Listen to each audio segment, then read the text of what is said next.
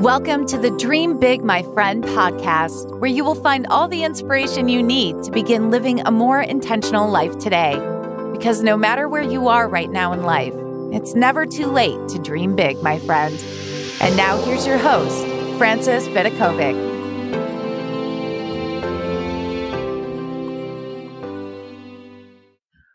Welcome, my friend, to this episode. How are you guys? I hope you are having a wonderful day so far. So, today, this is the second of 12 mini episodes that I'm going to be sharing with you. I'm actually going to be sharing with you a chapter from my book, What Will It Take for You to Understand, which is all about 50 truth bombs to change your life. And those lessons from that book also form the backbone for my course, Mindful Living Master Course. So, both you can find on dreambigmyfriend.com.au. But of course, the information that I'm sharing with you is going to be enough to get you started on living more intentionally. So, as I mentioned in the previous episode, I'm sharing with you these free chapters because I really believe this, that this information is so valuable. It's one of those things that I wish every single person in the world would just embrace. And when I call it a truth bomb, it's because a light bulb literally goes off in your head one day. And when you get it, you're like, okay, I can never go back. Because once you've seen a light, you sort of can't stay in that darkness anymore. So, my book, What Will It Take For You to Understand, is definitely different from all the other personal development books. I've written over 20 books, and this one is definitely my favorite because it focuses less on what you need to actually do or change in your life in order to make it better, and more on what you just need to understand in order to make your life more manageable and special. So, if you've ever found yourself fighting against things rather than accepting what is and living in peace and just going with the flow, this book highlights 50 truth bombs that you need to understand to free yourself from that constant pain and suffering. And I call it the wake up call you need. So, to live well and have more clarity in your life, I really believe that you've got to understand some truths. I call them life truths. So, are you ready for me to drop another truth bomb on you? I love this one. Are you ready to understand? Let's go. This chapter is called Life is Too Short to Keep Crappy Friends. So, when we are young, we don't think too much about who our friends are. We're happy to play with anyone with a good toy collection or imagination.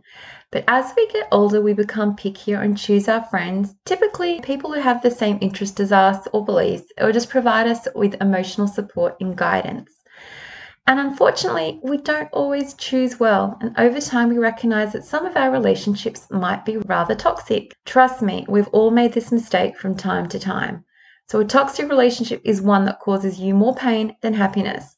And these frenemies are people who make you feel bad about yourself. They put you down, they manipulate you, and they exclude you. Sometimes really subtly, so other people don't even notice, but it's something that you still feel strongly inside.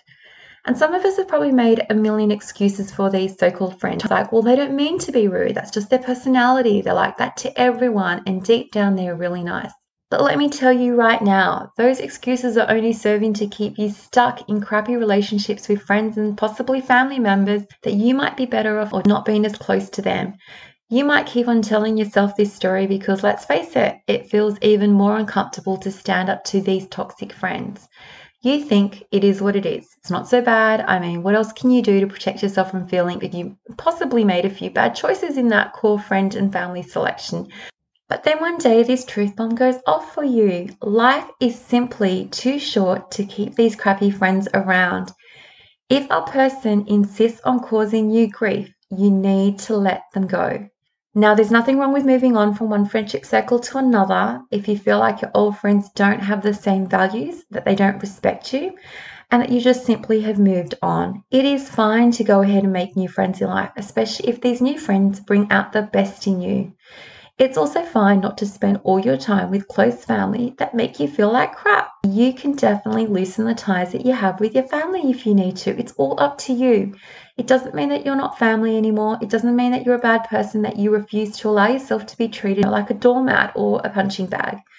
It simply means that you are respecting yourself. You're showing yourself respect. It means you're putting yourself first for a change, your feelings, your mental health, your life, and your sanity. So, at any rate, you will soon realize that it's less important to have more friends and more important to have real friends. In life, we never lose friends, we only learn who our true friends are. And sometimes we need to move on. So, the biggest mistake in our life is when we let bad friends stick around longer than they deserve to be in it. So, respect yourself enough to walk away from anyone or anything that no longer serves you, helps you grow, or makes you happy. Okay, so if it's not serving you, if it's not helping you grow, and it simply doesn't make you happy, it is okay to move on. So, when this truth bomb goes off, I want you to listen to it there are people out there who sincerely don't want to see you happy. That's just the truth. I mean, I wish it was the case that everyone wanted to see you happy, but some people don't. So if you have a friend or a family member that you think it's time to loosen the ties and grip on, just do it now. It's totally fine. Today, not tomorrow, now and not later. So there you go. That was another chapter. And I'm telling you, as I am reading these ones out, I'm itching to say more on this topic, and I probably will revisit them in the future because there is so much said about how to deal with all these situations if this truth bomb hasn't gone off for you as yet. So, I do hope you found this mini episode to be helpful. Remember, you can find more info on this book and my Mindful Living Master course at dreambigmyfriend.com. And if you enjoyed this chapter, please stay tuned because we have another 10 coming your way. As always, thank you so much for being here with me. I do love and appreciate you all, and I cannot wait to catch you in the next episode. Until then, dream big, my friend.